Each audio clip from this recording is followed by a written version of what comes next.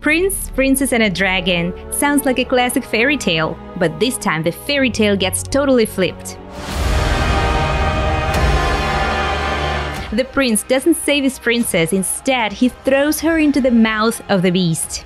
Today we're learning English with Damsel, a new 2024 Netflix movie. In the scene we selected for you, you will see a young couple just getting to know each other as they take a stroll in the royal garden. Millie Bobby Brown, who you Stranger Things fans might recognize, the actress who plays the princess in this movie, comes from the UK, so you can indulge yourself in the beautiful British accent. The actor who plays the prince is American though, and he's trying his best to sound British. So I have a challenge for you. Can you spot the three words, the pronunciation of which gives away his American origin? Every week, we help you understand your favorite movies and TV series without getting lost, without missing the jokes, and without subtitles. So, if you are new here to our channel, please subscribe and hit the bell down below so you never miss any of our newest lessons. Now, let's have a walk in this royal garden, shall we?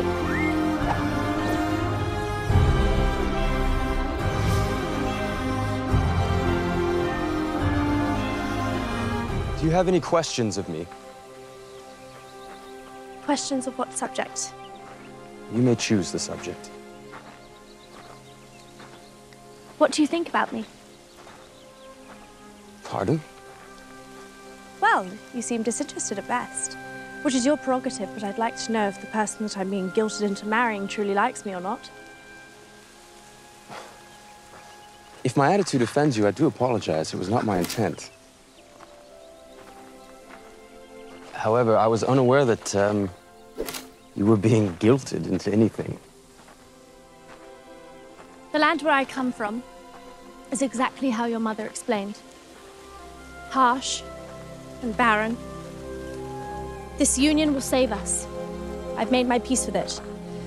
My happiness is a small price to pay for the future of my people. Is something wrong?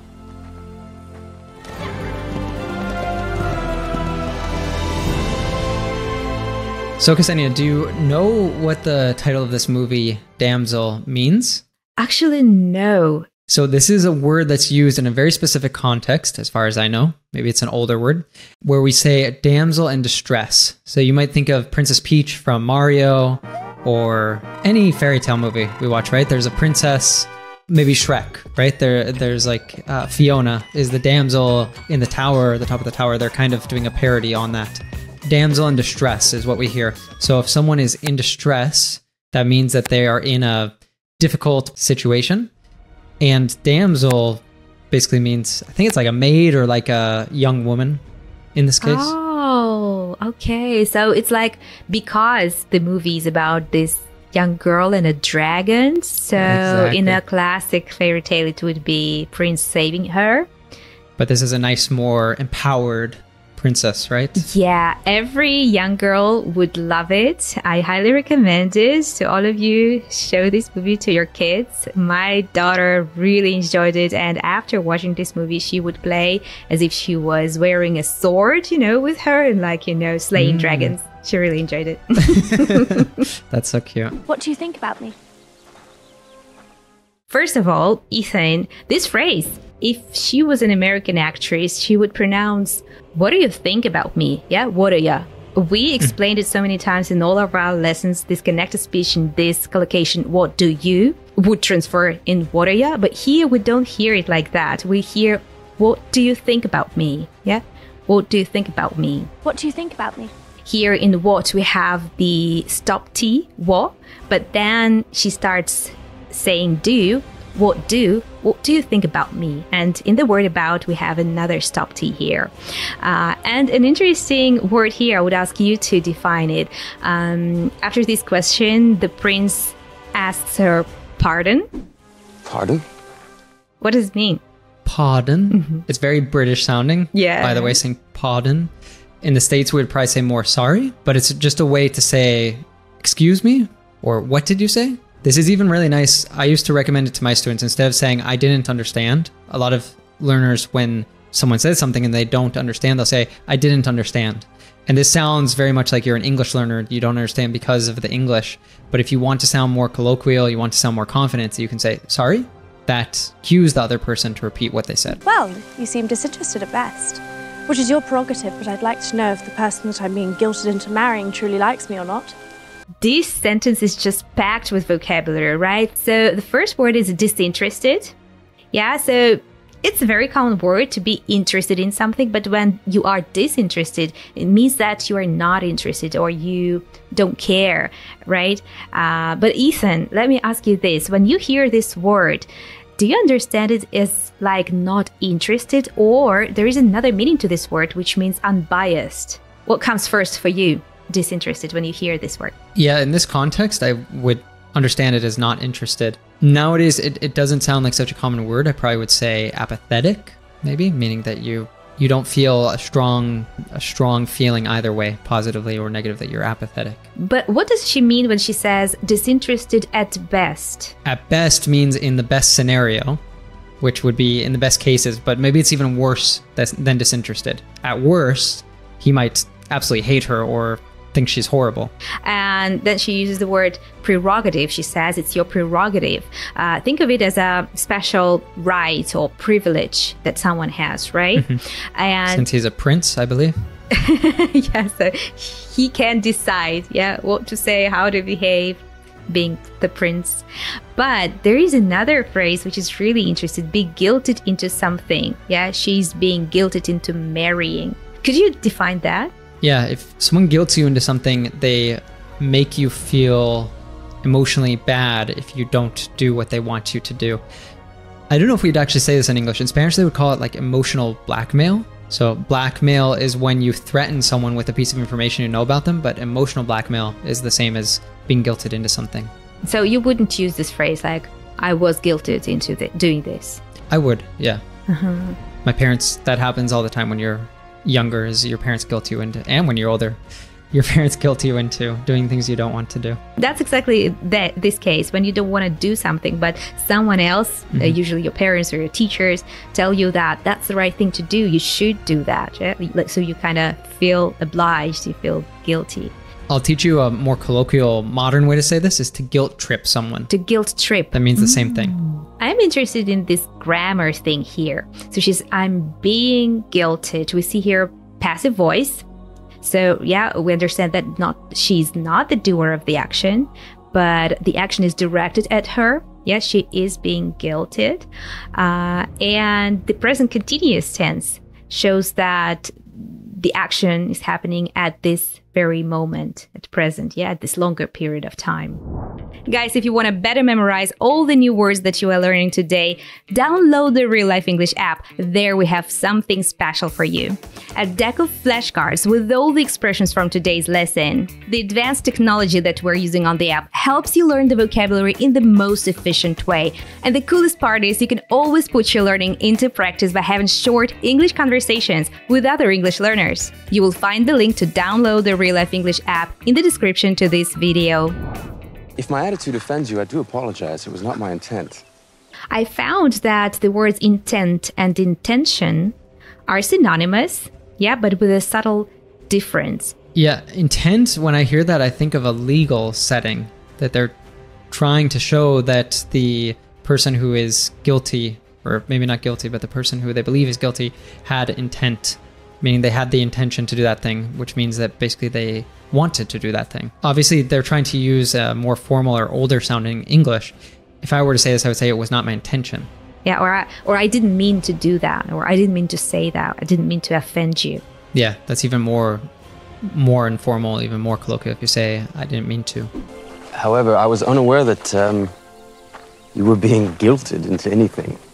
Unaware is just like having no clue, having no idea what's going on. It's just like a fancier way to say I didn't know that. If you want to say the opposite too, you could say I'm aware. If someone's saying something that you already know, and especially if you, I think it's a bit emphatic of it being something obvious, like I'm aware. I'm already aware. I already know that. Harsh and barren.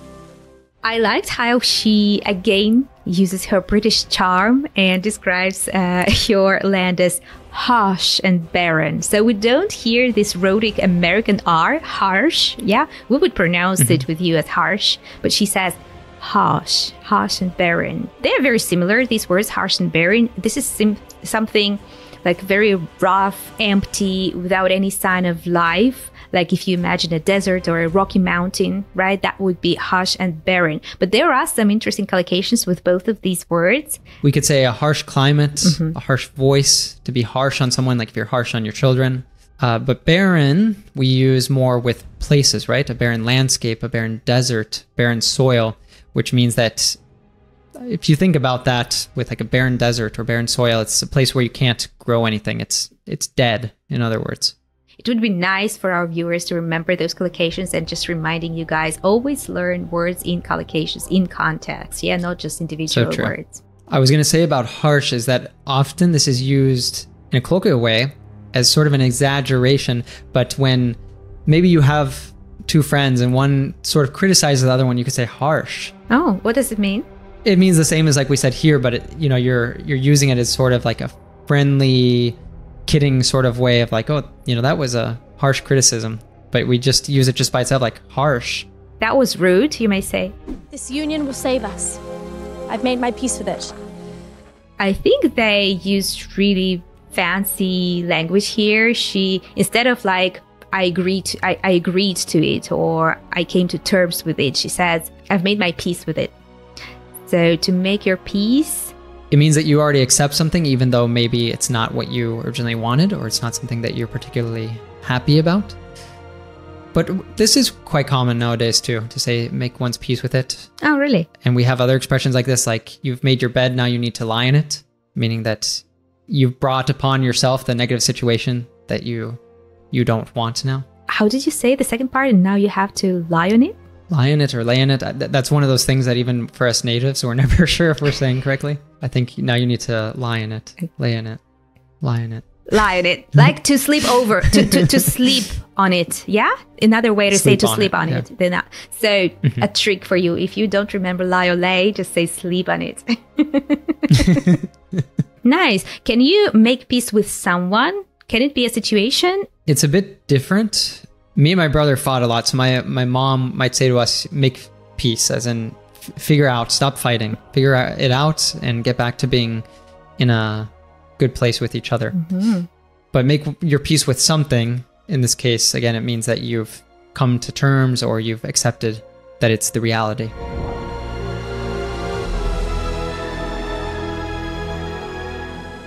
It's just. In the letter you sent in advance of your arrival, you sounded different.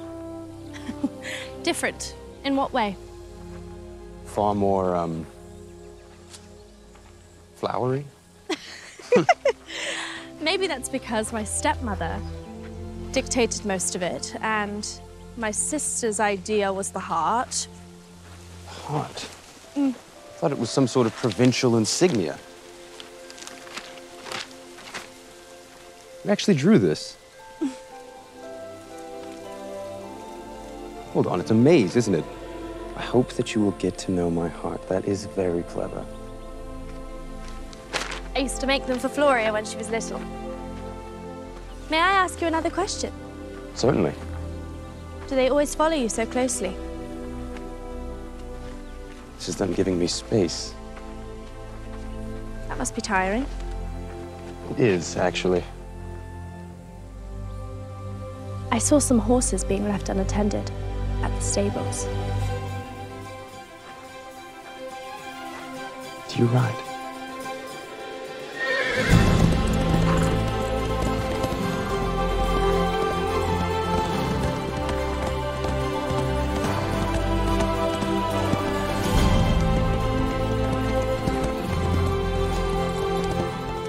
In the letter you sent in advance of your arrival, you sounded different.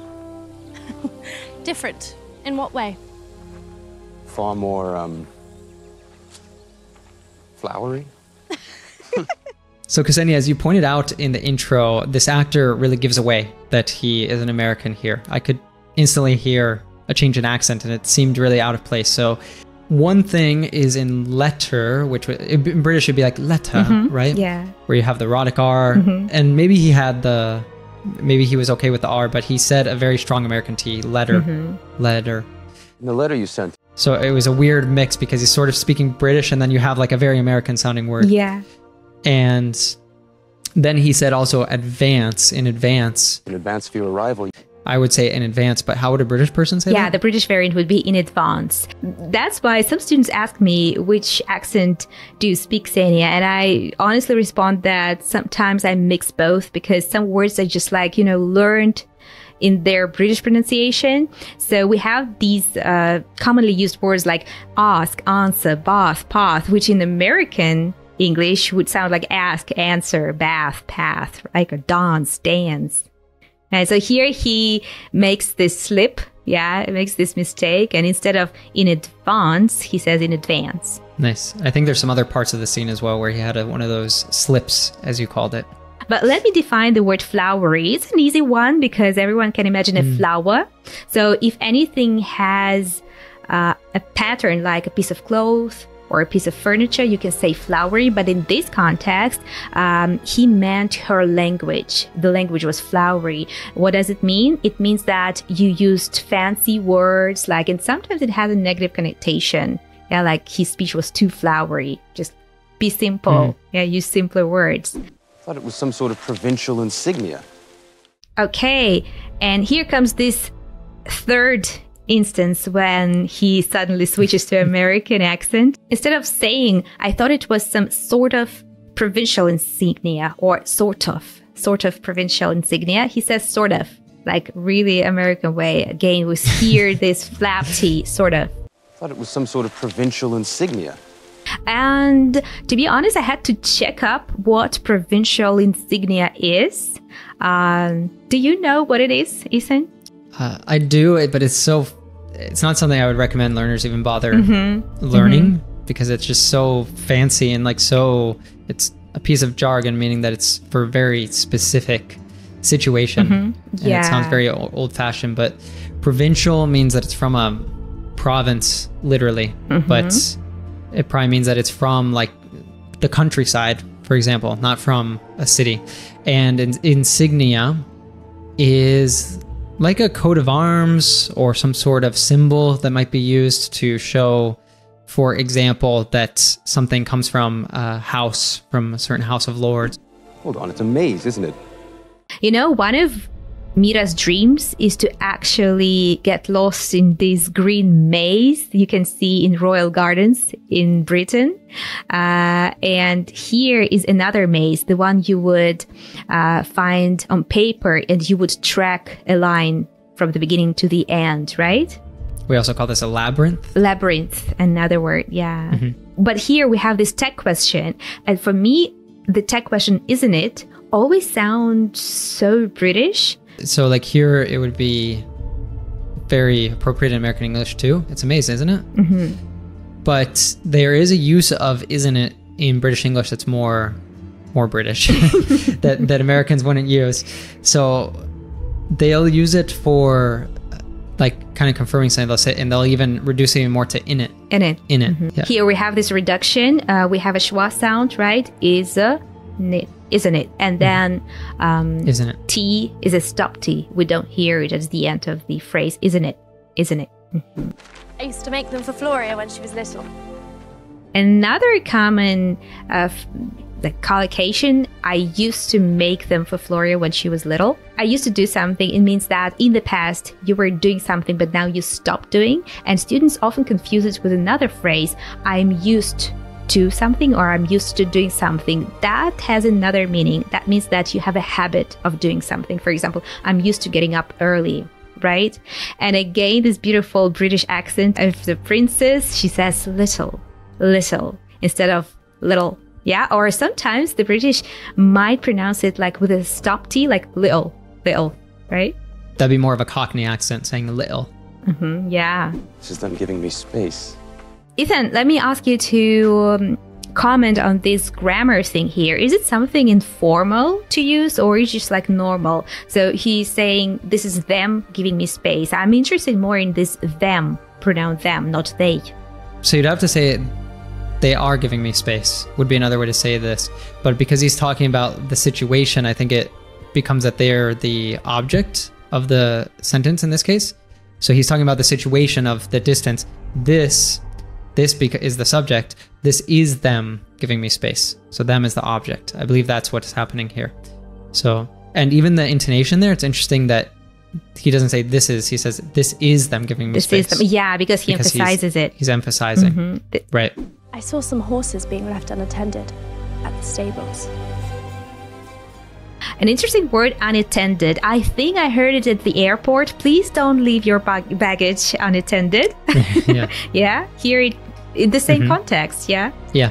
The horses are unattended at the stables, I think she says.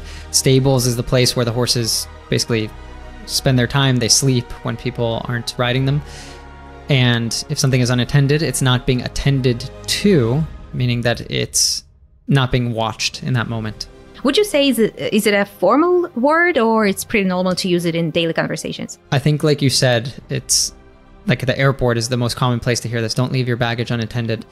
You could also say, like, be more a formal way, but you know, you shouldn't leave your children unattended at the mall That's or true. in any busy place, right? Mm-hmm. Thank you so much for sharing all your comments and all your achievements with us. It truly makes us proud, and we feel like sharing it with the rest of the learning community here on YouTube. So let me share this beautiful message we received from our student from India.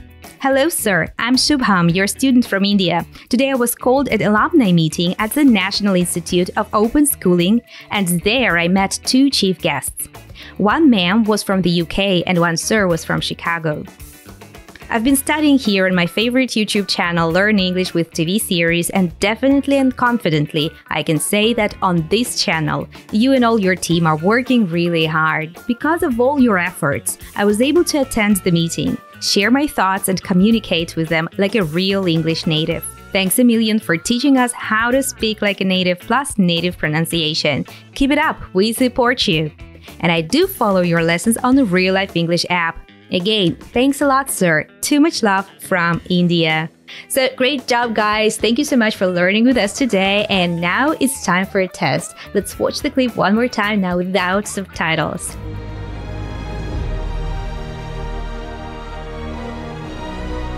Do you have any questions of me? Questions of what subject? You may choose the subject. What do you think about me? Pardon? Well, you seem disinterested at best. Which is your prerogative, but I'd like to know if the person that I'm being guilted into marrying truly likes me or not.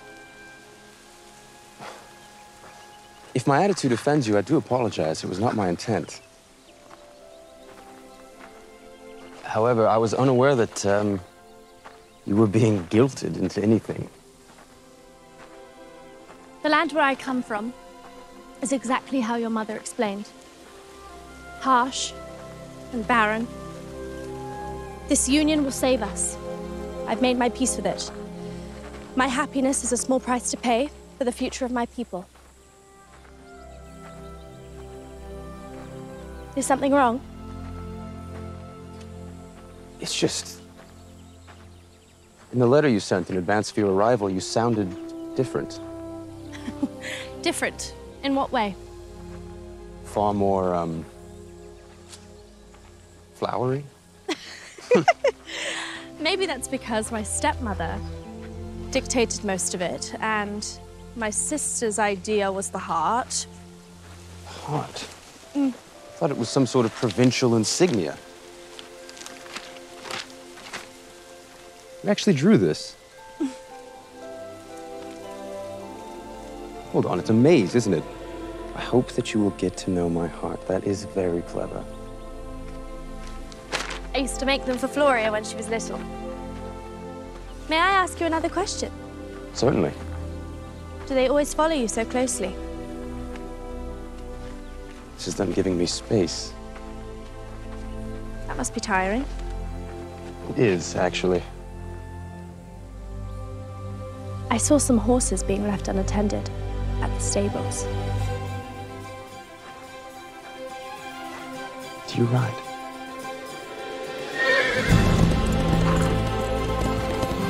Thank you so much for learning with us today. And the right thing to do now is to go through all the expressions one more time. You can do it on our Real Life English app that you may find in your favorite app store. And if you enjoy learning English with movies like Damsel, you can watch this lesson next. That's what the monster called me. Mom, what's happening? You are a half blood. And half bloods are not safe in the world. Once they reach a certain age and they begin to understand what they are, terrible forces are drawn to them, driven to harm them before they can become strong enough to fight back. That is what you have been